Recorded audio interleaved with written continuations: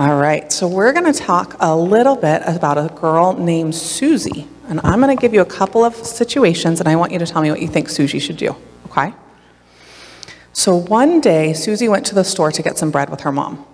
And she paid the cashier, but the cashier gave her too much money back. What do you think she should do with it? Should she keep the money? She should give it back? Yeah. Now, what if Susie went to the fair and she found somebody's wallet on the floor and it had $100 in it? Had a lot of money. What should she do with that? Tell your dad? Yeah, give it back. All right, good. So, what would God want us to do? Would He want us to keep the money?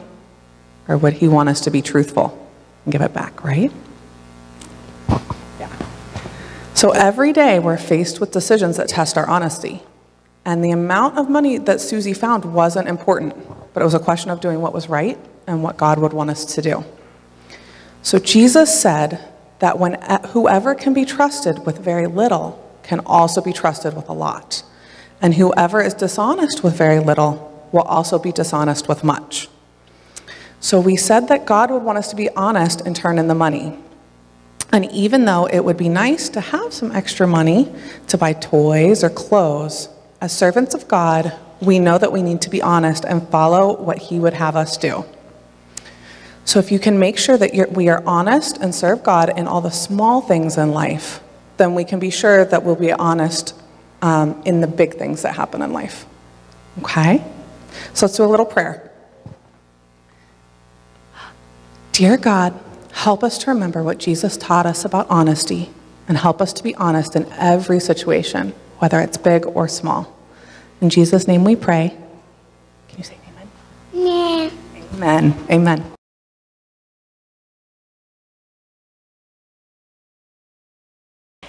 Eternal God,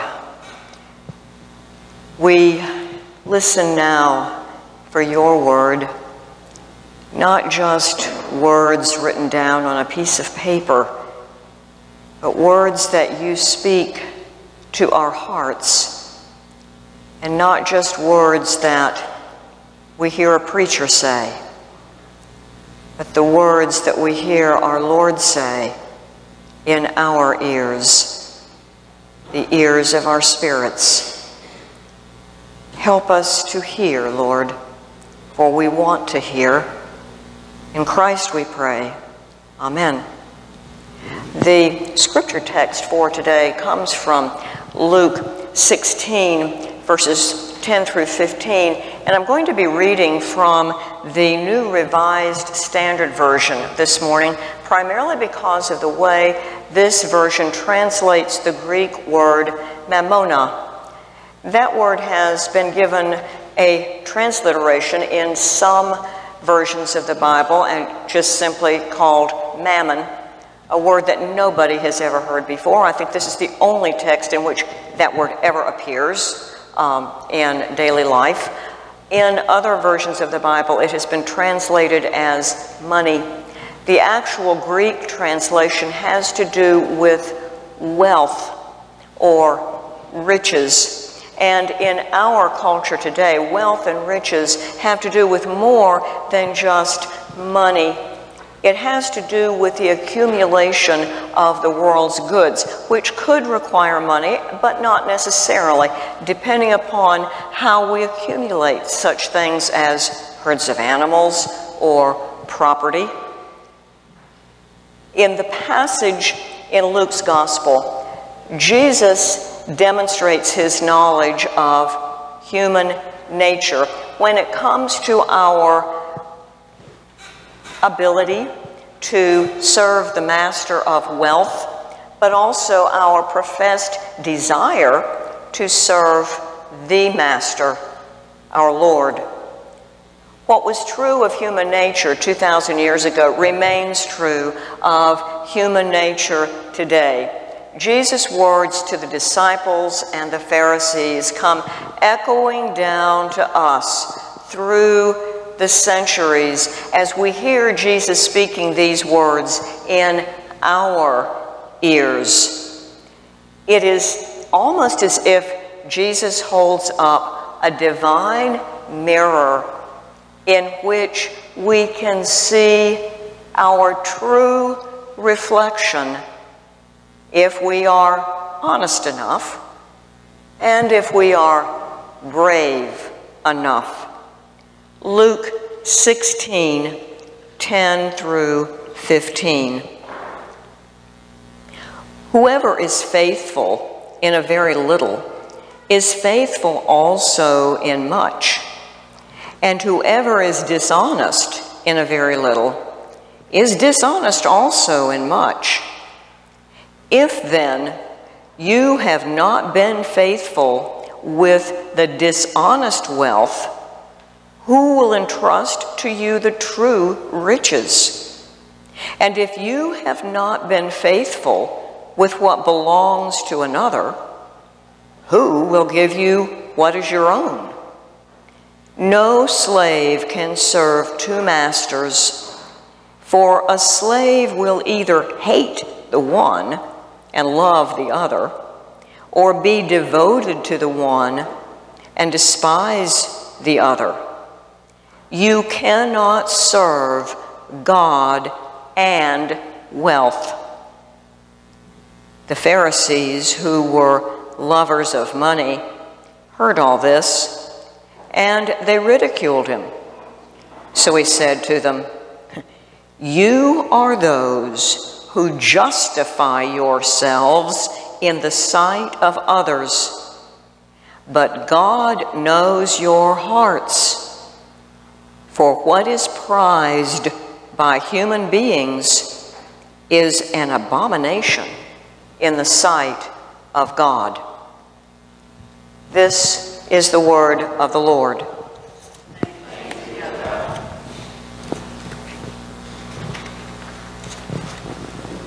In this passage, Jesus contrasts faith with dishonesty and worldly wealth with heavenly wealth. We must always remember that when Jesus is teaching, what he says has a double meaning a literal meaning and a spiritual meaning.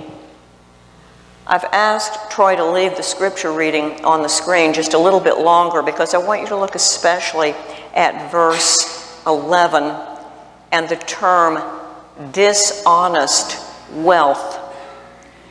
Jesus is not talking about wealth that is gained through trickery or thievery here.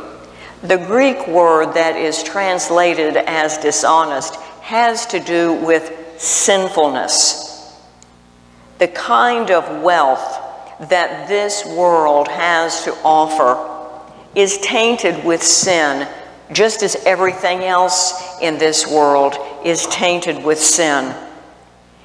This world and everything in it, including us, is imperfect, impure, and separated from God. We may gain much worldly wealth by totally honest means, and we may manage it with great faithfulness as God would have us do. But compared to the true wealth, earthly wealth is imperfect and impure. Jesus does not condemn the accumulation of worldly wealth by honest means. In fact, he says how we manage earthly wealth has bearing on our being given the true wealth.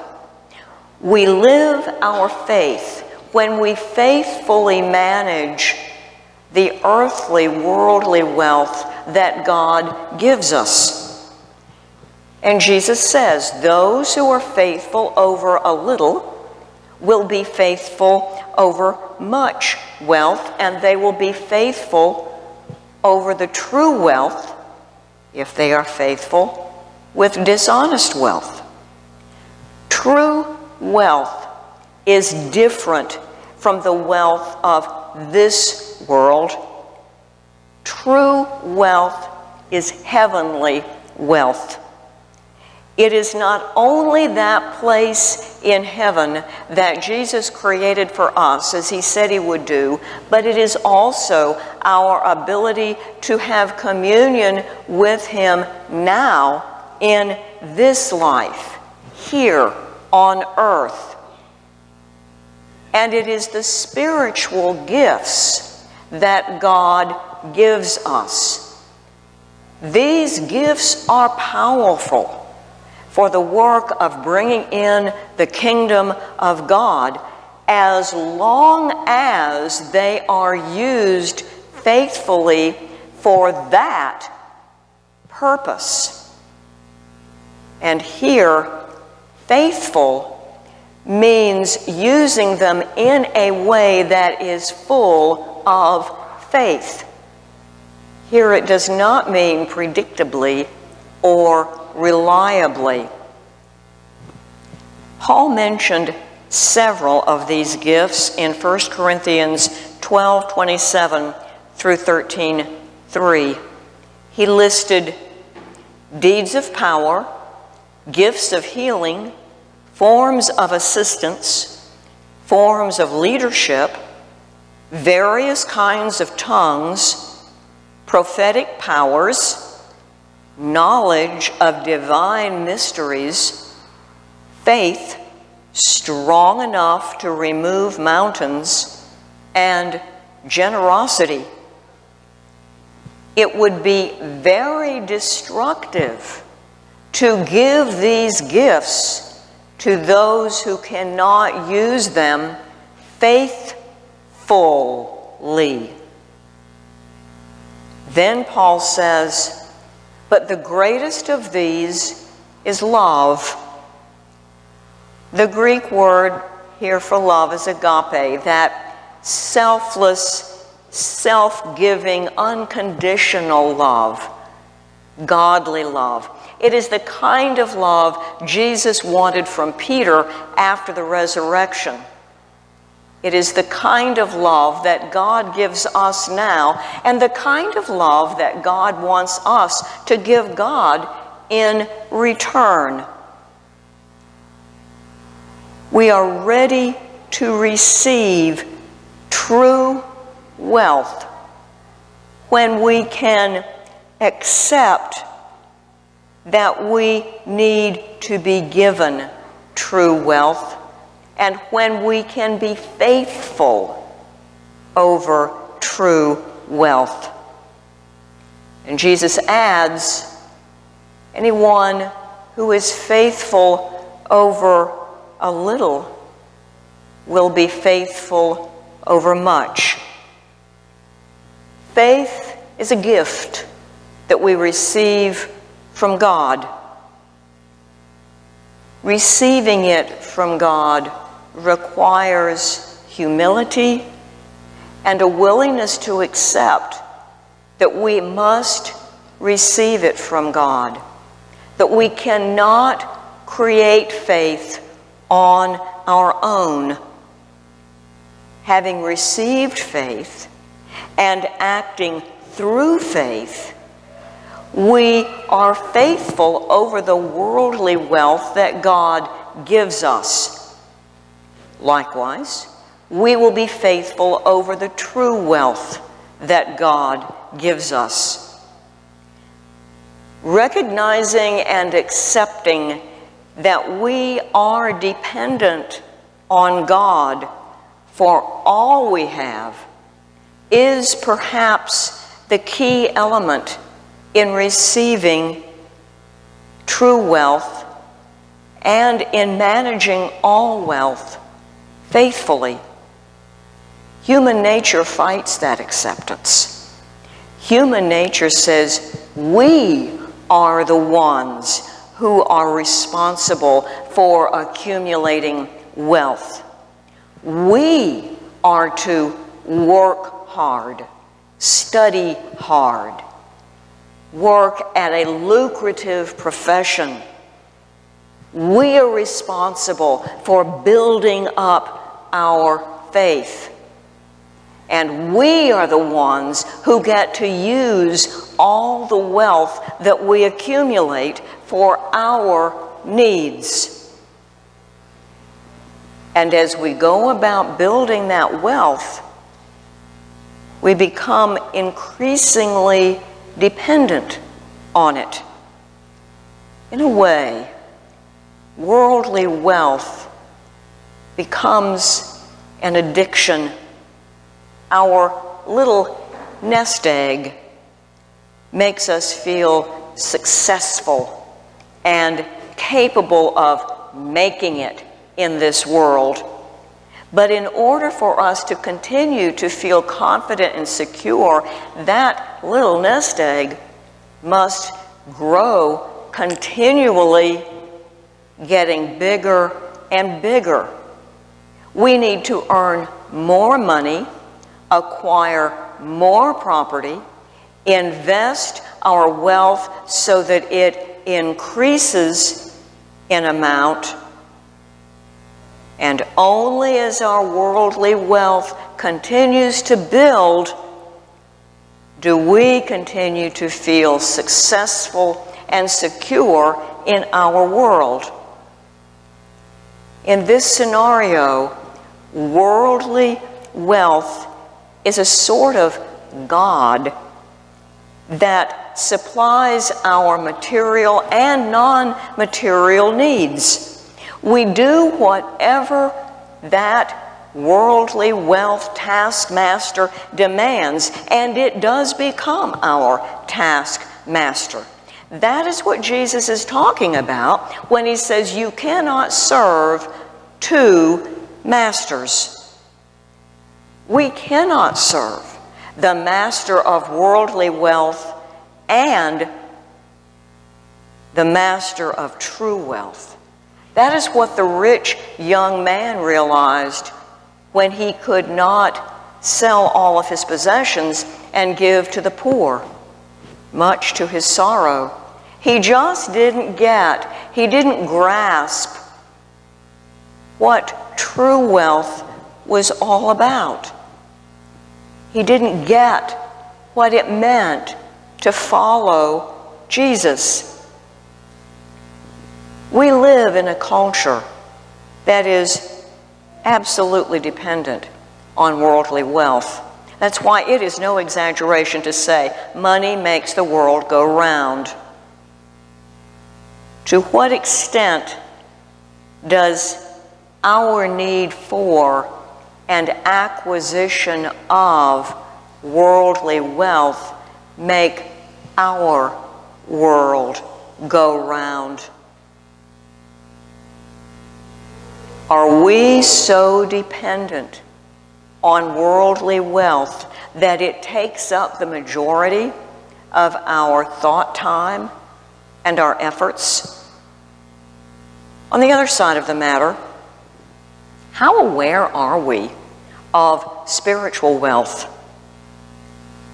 How aware are we of the wealth that is meant for us just as much as it was meant for the people of Paul's day. I wonder, assuming that we are aware of all that spiritual wealth that is meant for us, I wonder if we see it as a nice add on.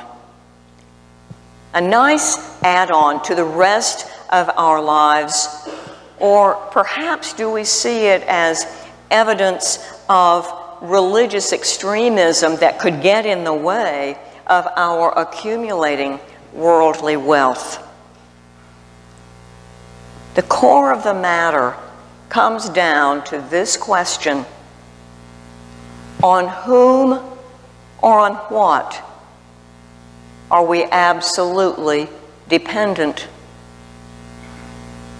On whom or on what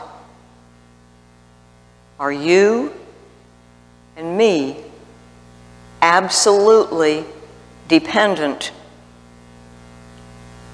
Might we perhaps think of our life in God's kingdom as a sort of side venture that does not relate to our main goal in this life?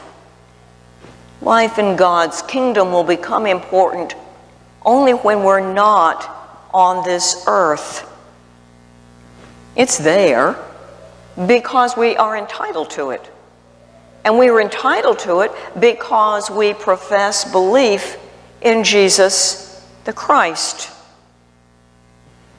The riddle of life that we each must answer for ourselves is how our goal relates and relates us to life in these two different kingdoms. It is not hard to imagine what life looks like when worldly wealth is the taskmaster. So let's spend a moment or two imagining what life would be like if God is the master and spiritual wealth is what we seek. First of all, if you have an appointment book, get it out and open it to the upcoming week, whatever you've got in it for the upcoming week. What would you put in it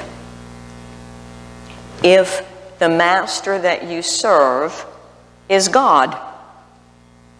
Literally. God is the one that you serve each day. Literally. What would you need to do? And what would you need to put in that appointment book?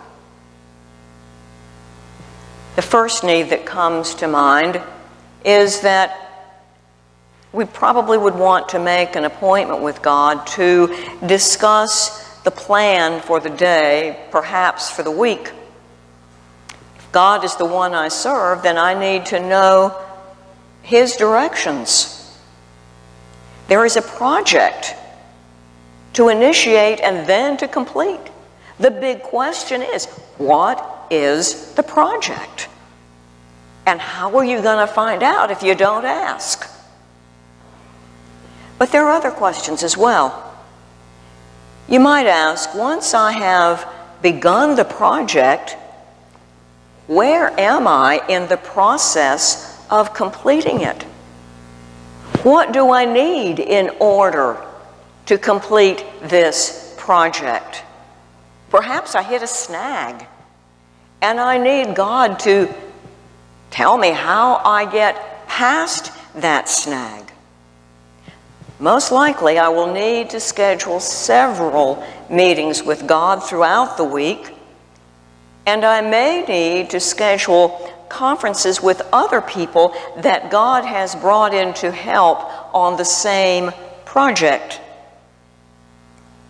Perhaps I will need to set aside some time to do some reading having to do with aspects of the project or with skills that I need to hone in order to be more effective in my work on this project with God.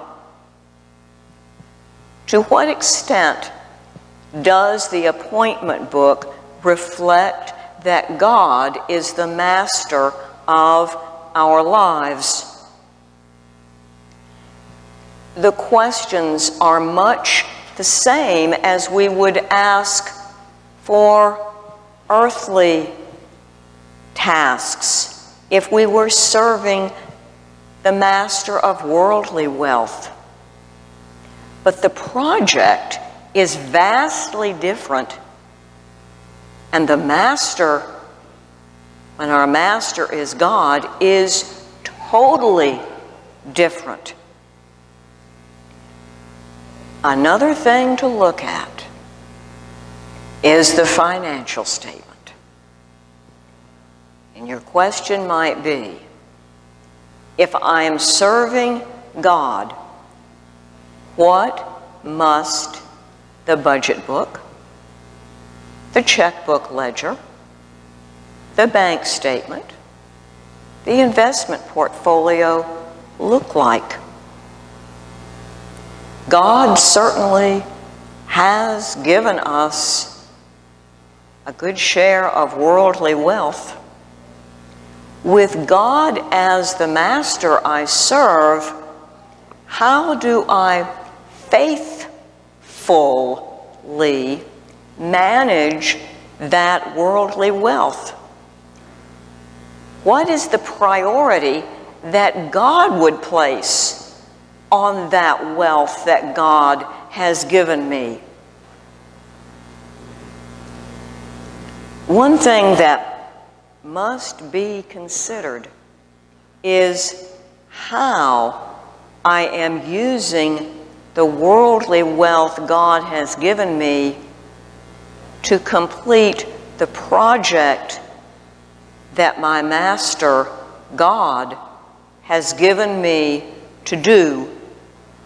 That project is devoted to accomplishing God's work. So the assets that I have need to be available for that project. Well, Augustine was right when he said we live in two cities the city of God and the city of earthly wealth. We do indeed live in two cities, and we do indeed live in them simultaneously. That is what makes our lives challenging. And that is why we cannot take the living of our lives for granted and just go pell mell through life. We do live in these two cities simultaneously, and they do have two different task masters. Jesus was absolutely right when he said, You cannot serve earthly wealth and God. Either you will hate the one and love the other, or you will worship the one and despise the other. We must choose who we serve. And Jesus said, Seek ye first the kingdom of God, and all of these things will be added unto you. Amen.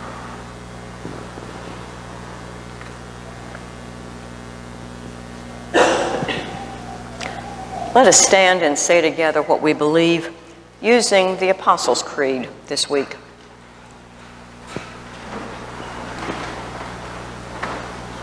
I believe in God the Father Almighty, maker of heaven and earth, and in Jesus Christ, his only Son, our Lord, who was conceived by the Holy Ghost, born of the Virgin Mary, suffered under Pontius Pilate, was crucified, dead, and buried.